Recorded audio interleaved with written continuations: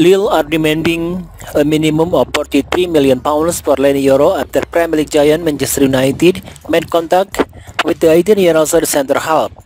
Alongside Inacio, Brent White, Scalpini and Antonio Silva with Canau at another of Europe up and upcoming central half to Manchester United list of defensive target.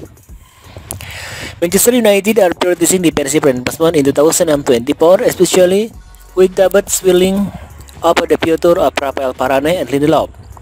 According to Players Publication Sport, United and Ashley Baum, Manchester City both initiated contact with Lille over Lenny Euro recently, where the club who sought Nicolas Pepe, Eden Hazard, Rafael Ben Botman, and Osimhen for big fees, are in no mood to let the 18-year-old live on the cheap.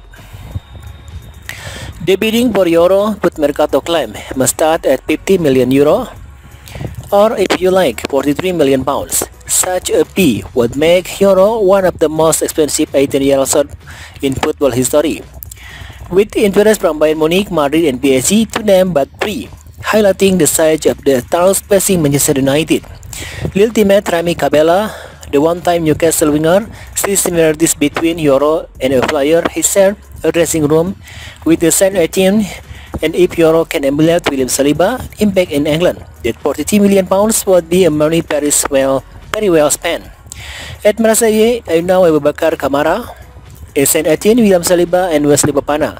And now there's Leny Yoro, Camila tells the Ligue site, the Ligue tell the Ligue website. He has all the quality and potential to do something huge.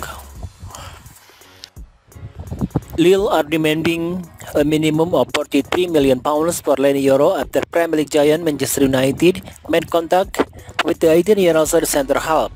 Alongside Inacio, Brent White, Scalvini and Antonio Silva with Canau at another of Europe up and upcoming central half to Manchester United list of defensive target.